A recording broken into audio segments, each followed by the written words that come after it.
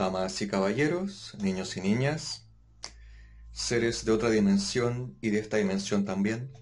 Bienvenidos a un nuevo episodio de Pregunta la View.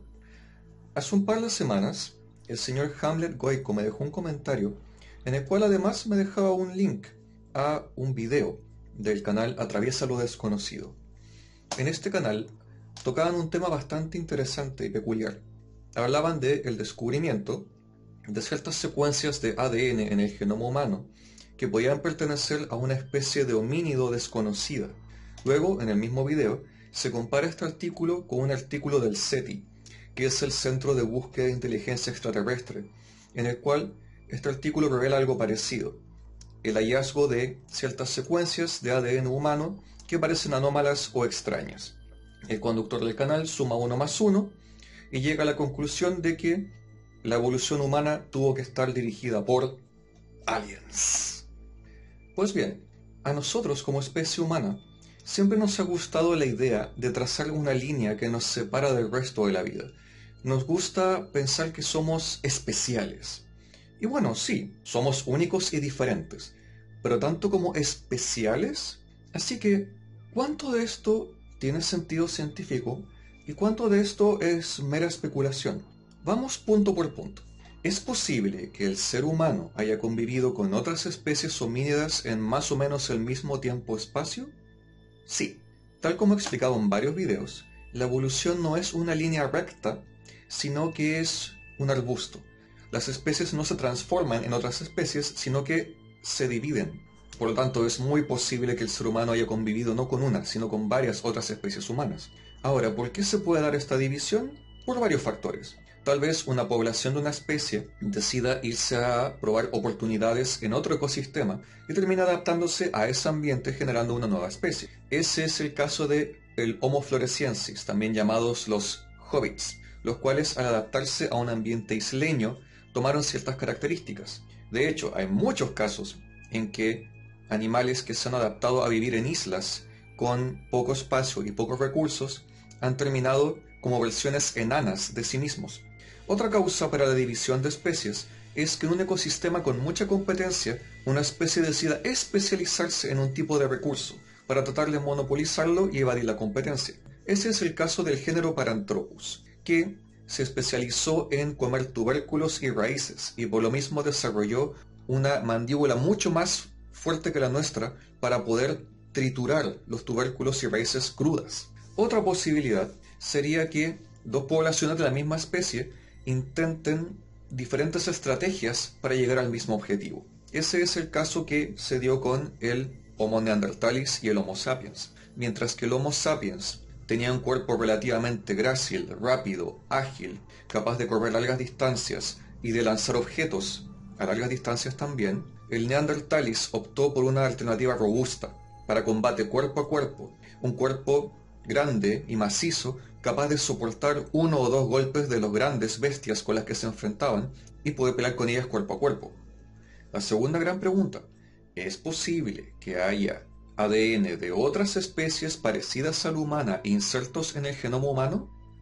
Sí, por lo mismo que acabo de explicar, como las especies se dividen, siempre va a haber un antecesor común que tenga un genoma común a las dos especies. Y por lo mismo, las especies que están íntimamente relacionadas siempre van a compartir una cierta cantidad de genes. Es por eso que se dice que es por eso que se dice que el ser humano y el chimpancé comparten el 99% de sus genes. Otra razón para lo mismo es la hibridación. Cuando dos especies son muy muy parecidas, es posible que terminen mezclándose y fundiéndose en una sola especie. Tal como he explicado antes, el fenómeno de especiación también es algo gradual, es relativo. Por lo tanto, siempre va a haber un momento en que las poblaciones, aunque estén separadas, aún tengan posibilidades de volver a juntarse y mezclarse y tener descendencia. Si tú hoy en día tienes muelas del juicio, es porque las heredaste de antepasados neandertales que te las traspasaron.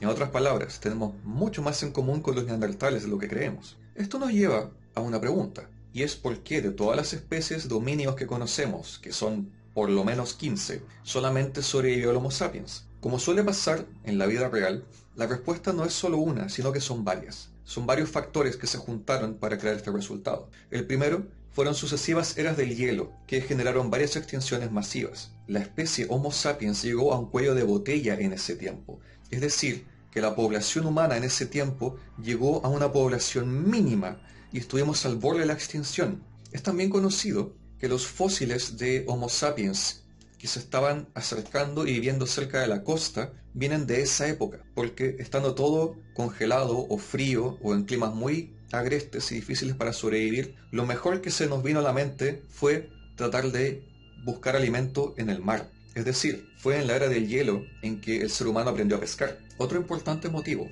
de por qué tal vez seamos la única especie con vida fue justamente la hibridación que mencioné antes. En algún punto comenzamos a volvernos una especie más numerosa que varias otras que se fueron extinguiendo y nos empezamos a mezclar con esas otras especies.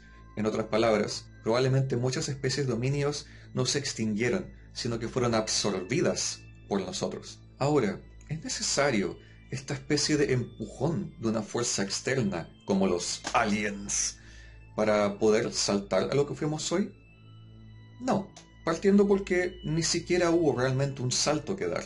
Nuestra evolución, como la de cualquier otro ser vivo, fue gradual y fue de especie en especie que nos fuimos transformando de a poco en lo que somos hoy. Por ejemplo, nuestra capacidad de habla no viene del Homo sapiens, sino que del Homo rudolfensis, que fue la primera especie que desarrolló tanto el sector del cerebro relacionado con el habla, como la forma de la garganta necesaria para manejar el aire de manera eficiente y producir la variedad de sonidos que tenemos hoy. Por otro lado, nuestra capacidad de manejar el fuego tampoco viene del Homo sapiens, sino que viene del Homo ergaster, que es la primera especie que ha sido encontrada junto con restos de fogatas, cenizas e instrumentos asociados a la manipulación de fuego. Y de todas esas especies tenemos algún rastro de nuestro ADN. Ahora, ¿es posible que sepamos la existencia de una especie por este ADN residual antes que por fósiles o otro tipo de restos? Por supuesto que sí. De hecho, existen ramas de la paleobiología que se dedican a buscar rastros genéticos de especies que pudieron haber que pudieron haberse extinguido sin dejar fósiles. Esto se usa mucho para especies microscópicas o especies de cuerpo blando. Así que sí, puede que tengamos el genoma de una o varias especies parecidas a las nuestras mezcladas con nuestros cromosomas.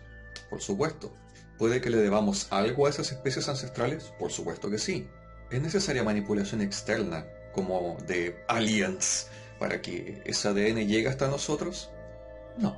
Muchas veces solemos subestimar a especies cercanas a las nuestras o incluso a culturas ancestrales simplemente porque no las comprendemos. Sin embargo, yo opino que es al revés. Somos nosotros hoy en día los que dependemos tanto de nuestra tecnología y los que dependemos tanto de la especialización en nuestros trabajos que muchas veces no comprendemos cómo funciona el trabajo del vecino o no comprendemos cómo funciona el computador que estamos ocupando. Sin embargo, todos esos descubrimientos, inventos y logros son cosas que hemos logrado con nuestra propia capacidad, sin la intervención de aliens que nos ayuden a eso.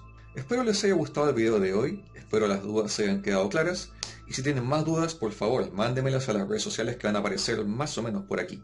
Nos vemos en el siguiente episodio de la siguiente semana.